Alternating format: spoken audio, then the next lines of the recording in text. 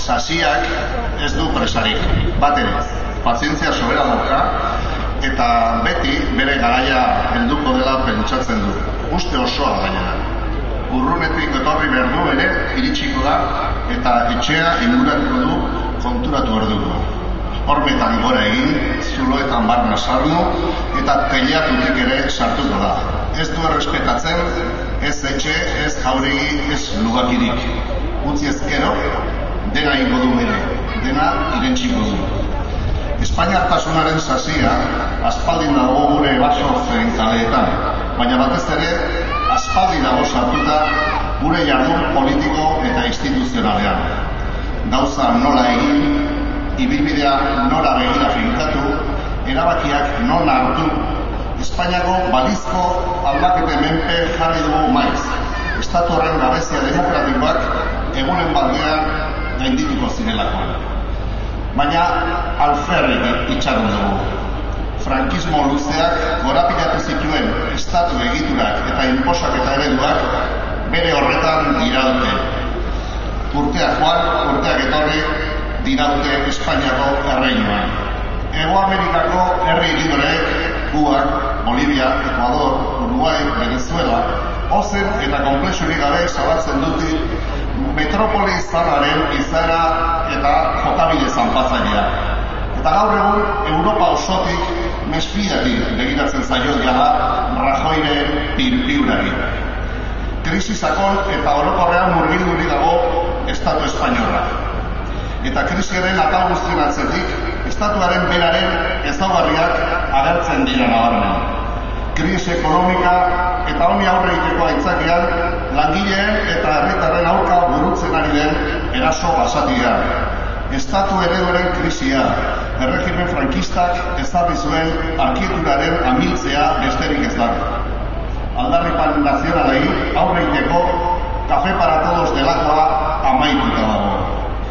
Ustelkeria jotako eredu politikoaren krisia ez da barazten izena, sistema osoaren abaizik. Ustelduta dago Espainia, ipiak jodua bere estatu izaera, eta itzulere gabeko bidaia abiatu du auto propioz. Beraz, duela hogeita urte estatuko botere faktikoek agostu zuten eredua porrot egin. Baina porrot horren aurrean, estatuak eginiko autoa ez da egiazko demokraziarako bidea edo transizio bat egitearena. Gaur, lehen bezala, zentralismoaren eta ukazioaren apustua egiten dute Madrid, eta badatoz PP eta PSOE, Rubalcaba. Lo habéis visto hace un par de semanas en la comparecencia del presidente español para dar cuenta de las abrumadoras acusaciones que, que pesaban y pesan sobre el sistema de financiación de los partidos y la concesión mutua de favores y obra pública entre tesoreros de los partidos y conocidos empresarios. Mientras que Rajoy simulaba dar explicaciones, Rubalcaba amagaba con exigirlas. Ambos partidos están en la base de la descomposición del Estado y entre los dos preparan una segunda transición orientada a guardarse mutuamente las espaldas, a mantener las prebendas y a seguir, como no, negando Euskal Herria. Nazio aldarrikapen demokratikoen aurrea mehatxu egin erantzuten du Madrilen. Herri hori dagokigun erabakitze eskubidea ukatuz eta estatu proiektua inposatuz. Langileen bizkar utzi du gobernu Espainiarrak krisiaren ondorio zama, zama oso. Erreforma zerreforma eta murrizketa murrizketa langileen eskubideen aurka inoiz burutu den erasori bortitzena burutzen ari da PP. Era berean, erreforma hauen bidez, eredu zentralista eta uniformatzailea inposatzen ari da. Lan hitzarmenen afera erakutsi duten bezala. Eta azkenik, gastu publikoa murriztearen aitzakian, zentralizazio administratibo itzela burutzen ari da estatua. Ego Euskal Herriko instituzien autonomia urria, utxaren urrengoaren maila utziz. Y en lo que respecta a la resolución de, de, definitiva y en clave PP y PSOE a los sólidos compromisos adquiridos desde Euskal Herria ha sido única y compartida, tomada a la limón.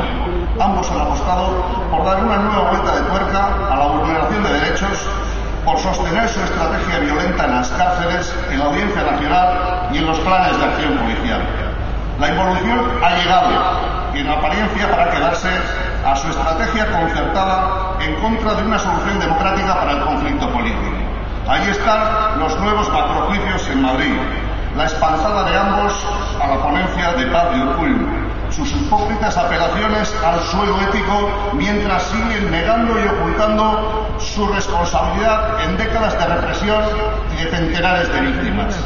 El Estado español, está claro, se encuentra incómodo en este escenario y sus esfuerzos por hacerlo inviable son una muestra más de su descomposición.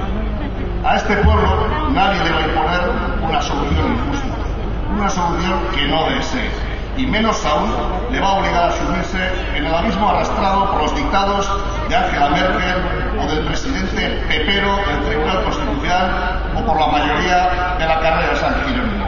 Es un clamor en Cataluña y también cada día más un clamor en Euskal Herria. Labur bilduz, eskaintza demokratiko bat egitetik urrun, eredu zentralista, ustel, eto, eta bide sakontzea da Estatu Espainiarrak egiten digun eskaintza bakarra. Horaino iritsita, askira esateko ordua da. Euskal Herria Bildu badu gatazkaren konponbiderako agenda. Badu politika antisozialei aurre egiteko agenda soziala. Eta badu azkenik, erabakitzeko eskubidea praktika eraman eta Euskal Herria independentziaren bidea jartzeko agenda nazionala. Eta badu, agenda hauek konpartitzeko prestutasuna, gehiengo sozial eta sindikalarekin, eta abertzale aldakenekatzen diren alderdi eta eragile guztiekin. Agenda eta gogoa konpartiturik posible dira akordioak. Eta egun ez dugu, bide hortatik ari gara, instituzioetatik adibidez. Lehen honetan, bestekin batera gobernatzen dakilgula erakutsi dugu. Foru aldundian, amarka udaletxetan, donostian, hemen, besteak beste, akordia bandu, eskaini eta lotu ditu ezberdinekin gainera. Eta urratz kualitatibo oso garrantzitsuak eman ditugu instituzioen jardunean. Fiskalidade aurrera koia, zerbitzu sozialen bermea, langileen eskubideen defentsa, klausula sozialak ekora publikoetan. Eta nor aserretu da, nor aserretu zaigu, nor kireintzen gaitu, abegi, mozento taldea. Honek, honek, aserre hauek, ondo goazela, ondo dabiltzala esan nahi du. Ez zaitezte kezkatu, goizero gozatzerakoan, e, egunkari nagusian, egun ere jakurtzen dituzek kritikek. Urduri daude, gauza ondo egiten ari dago. Zubietako errauztegia gelditu dugu. Hainbat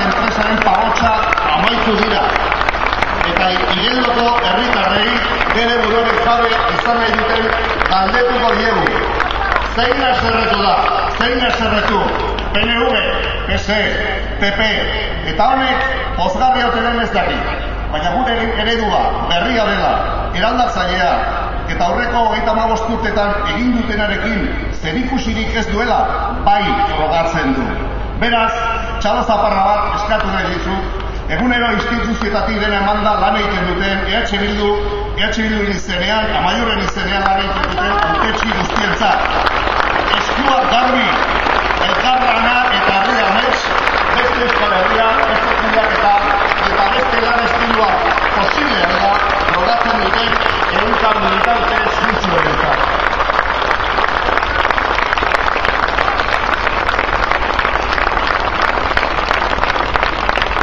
justizian, demokrazian eta askatasunean oinarrituko den Euskal Herria ere nahi dugunentzat. Bide zaila, legia. Hala eta guztiz ere, auto egina dugu eta aurrera egiteko bidea zer den ere badakigu. Euskal Herriko eragileen zein herritarren arteko akordio zabala, konponbidearen, erabakitze eskubidearen eta langilearen eskubideen defentsa. Eta hori guztia zuekin batera. Zer herria baita hartua, martxan dagoen eta inor geldieraziko ez duen Euskal Herria. Beraz, martxan jarraitu, bizko libili eta jaiak dastak eta ezer gehiago ezean aurretik eta bukatzeko musu handi bat bidalera diot guztion irezeren emendik jone hartolari bilboko txupinerari etxeratzeko kide eta gozera marri eta urtiko entzun bilboko aste nagusia gure txupinera ere para Horatzen